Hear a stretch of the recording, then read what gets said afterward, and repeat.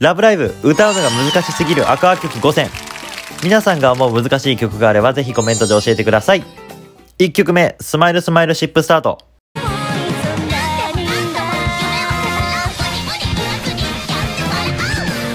うーん。無理無理。2曲目何度だって約束。シックススライブを思い出したら歌いきれるわけがない。3曲目迷冥探偵ヨハネかっこいい声と可愛いい声を使い分けないといけないしその上にセリフ付き。えぐ。4曲目わーいわいわいわいわいわいヒャダインさんらしさ全開の曲です。スピード歌詞癖の強さ難易度 SSS な上に最高にクレイジーな神曲です。そして最後の曲はもう皆さんわかりますよね。そうです。あのぶっ飛んだ絶対王者です。もうこれ殿堂入りでもいいと思うんですけど。コットンキャンディーえいえいおー。